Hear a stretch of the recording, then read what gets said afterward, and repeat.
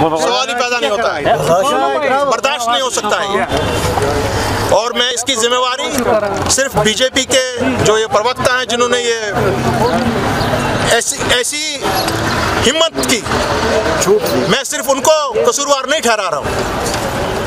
अगर हमारी central government और ये सूरत सामने नहीं आती कि आपके प्रवक्ता वसल्लम उनकी शान में गुस्ताखी करने की ज़रूरत करते हमारी डिमांड ये है आज और मैं ये डिमांड पूरे कश्मीर से कर रहा हूँ आज, कि जितने भी चैनल्स में ये, इनको एक खुली छूट दी जाती है। चाहे वो टाइम्स नाउ है, चाहे वो सुदर्शन चैनल है, चाहे वो रिपब्लिक है, जहाँ पर ऐसी चीज़ों को एक प्लेटफॉर्म खड़ा किया जाता है उनके लिए, उनको बैन कर देना चाहिए।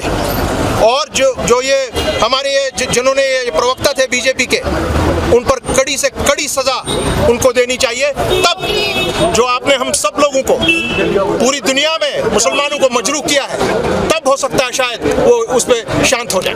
इतने मैं कहूँगा, ये हमारी सेंट्रल लीडरशिप ने ऐसे सूरत हाल पैदा करके आपने खुद ऐसे लोग उनको दावत दी है यहाँ।